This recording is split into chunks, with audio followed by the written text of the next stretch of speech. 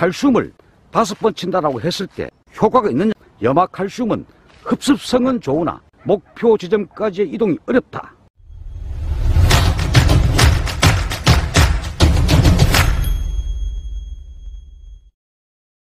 여러분 안녕하십니까 후지에 보다 홍로 품종의 열매 굵기가 얼마나 많이 굵어졌는가 아, 두 번째 칼슘에 대해서 바로 알고 우리가 살포하자 칼슘은 어떤 칼슘이 좋은가에 대해서 설명드리는 시간을 갖도록 하겠습니다 올해는 아, 인건비가 많이 상승되고 인력 부족이 심각한 상황입니다 아, 그래서 적과하는데 많은 애로사항이 있었다는 말씀을 드리고 현재 여러분들 가서나 비교를 해보십시오 여기도 1차 적과를 마무리했고 최종 적과는 종료하지 않은 상황입니다. 액화도 이렇게 아직 달려 있습니다. 제가 하셔야 되겠죠. 여기도 보면은 하나, 둘, 셋, 네 개인데 이 정도는 제가 하셔야 나중에 열매가 굵어지는 그런 소지가 있고 그런 열매 간에 또 간격이 있습니다. 지금은 비록 작지만 나중에 알이 굵어지면 꽉 찹니다. 문두문 달아주는 것이 훨씬 더 좋다. 지금 적과하고 난 다음에 열매가 눈에 따박따박 눈에 들어와야 되고 지금 열매 수가 눈에 많이 보이면은 가을에 열매 굵기가 좀 작다 이래 보시면 되겠습니다 이, 이 부분의 열매 굵기만 보시면은 현재 500째 동전입니다 이 정도로 굵었기 때문에 여러분들 가서 하나 비교를 한번 해보십시오 한 이 정도 굵기가 되었습니다 낙과 후부터 7월 말까지 사과나무는 대부분의 칼슘이 흡수가 이루어지고 후반기 때 일부 남아있는 부족분을 흡수하게 되어 있습니다 따라서 칼슘에 대해서 간략히 말씀드리는 시간을 갖도록 하겠습니다. 칼슘의 연민시비의 목적은 나무 뿌리에서 흡수만으로는 분명히 한계가 있다. 뿌리가 토양 속에서 상해질 수도 있고 토양 pH가 나빠졌을 수도 있고 토양의 건조, 질소, 가리의 과잉도 있을 수가 있습니다. 잎 자체의 수분 함량이 부족해도 칼슘의 흡수는 원활하지 못하게 되겠습니다. 작년에 저희 방송에서 조혜성과 흡습성이 좋아야 된다라고 방송에 드린 적이 있습니다. 구름 낀 날이나 비가 온 후 이파리가 축축해야 흡수가 잘 된다 이렇게 보시면 되겠습니다. 뿌리의 칼슘 흡수는 사실 한계가 있습니다. 고두병 이런 칼슘 결핍 현상이 오면은 이미 늦었다. 그래서 미리 열매를 통해서 또는 잎을 통해서 먹여줘야 됩니다. 현장에서 가장 많이 사용하는 일반화된 염화칼슘에 대해서 우리가 주목할 필요성이 있습니다. 이 염화칼슘은 킬레이트화가 되어 있지 않다면 열매까지 이행되질 못합니다. 특히 염소가 함유되어 있어서 과피 조직을 상하게 할 수가 있습니다. 열매가 까출까출하다. 그래서 더 좋다 이런 분도 계시는데 사실은 이 열매 껍질이 상했다고 보시면 됩니다. 염화칼슘은 조회성과 흡습성은 좋습니다만 결과적으로 우리가 원하는 목표 지점인 이 열매 과육 속으로 이동하지 못한다는 것이 큰 문제가 되겠습니다. 칼슘과 미성 알파, 미성 알파는 안티폴이 되겠습니다. 낙과 방지제.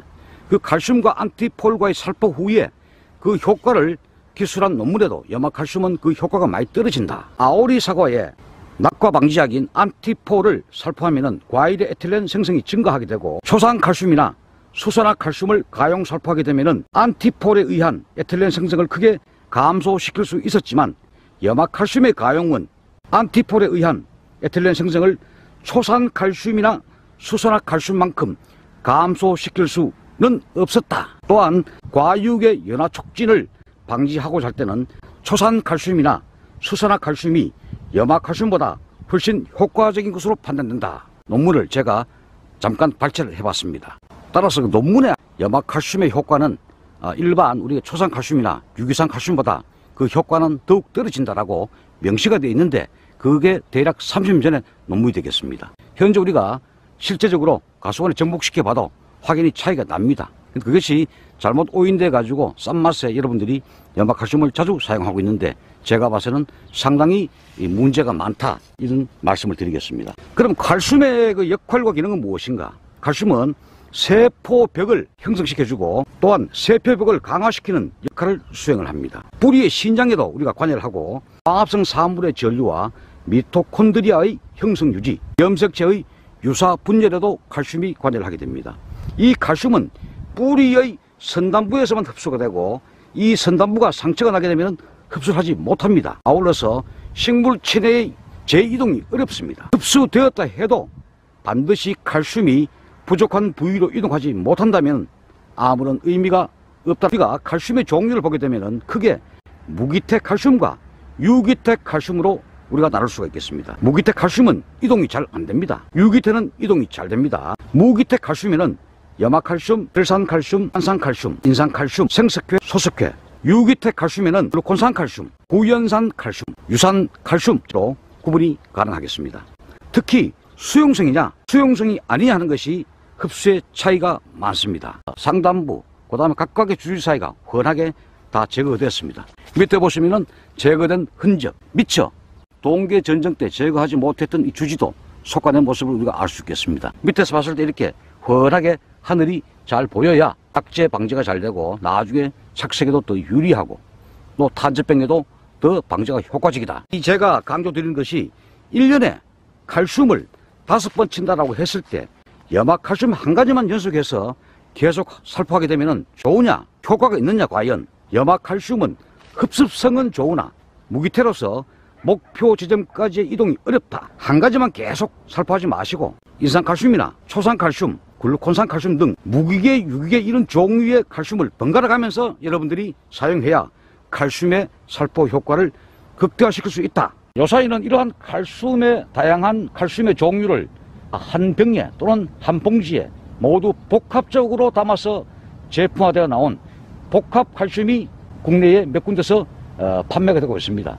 그런 제품들은 뭐 인산칼슘, 초산칼슘, 유기산칼슘, 글루코산칼슘 그런 식의 다양한 칼슘의 종류를 한 군데 복합적으로 모아놨다.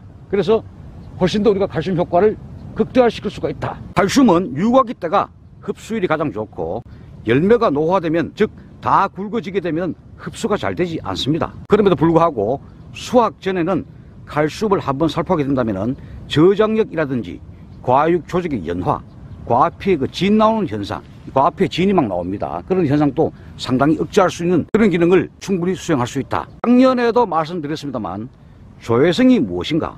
대기 속에서 습기를 빨아들이는 현상을 우리가 조회성이다. 흡습성은 무엇인가? 주변 환경으로부터 분자를 끌어당기고 보유하려고 하는 능력을 우리가 흡습성이다. 이렇게 말씀을 드릴 수 있겠습니다. 또한 킬레이트는 무엇인가? 주요 성분이 다른 곳으로 소모되지 않고 온전히 식물이 흡수하게 하는 것을 우리가 킬레이트 또는 킬레이트 처리화다. 이렇게 우리가 용어를 정의할 수 있겠습니다. 아, 그래서 칼슘 또 염화칼슘 하나만 또는 초산칼슘 한 가지만을 1년 내내 연속해서 살포해서는 큰 재미를 보지 못한다. 다양한 칼슘의 종류가 있습니다만 만약에 어, 동시에 복합적인 칼슘을 구하지 못했다면은 요번에는 염화태 칼슘, 다음은 인산 칼슘, 다음은 초산 칼슘 이렇게 칼슘의 종류를 번갈아 가며 살포해야 여러분들이 칼슘 효과를 극대화시킬 수가 있다는 말씀을 분명히 드리고 더욱 좋다면은 이러한 다양한 칼슘을 복합적으로 다 믹스했는 그런 칼슘을 구하셔가지고 1년에 3, 4, 5회를 연면 살포하셔야 이 피든 열매든 온전하게 이 부족 현상을 우리가 충분히 예방할 수 있고 열매도 과육까지 잘 이동 흡수가 된다. 이런 말씀을 제가 분명히 드리겠습니다. 늘 여러분과 함께 있습니다. 차가 콜라 TV였습니다.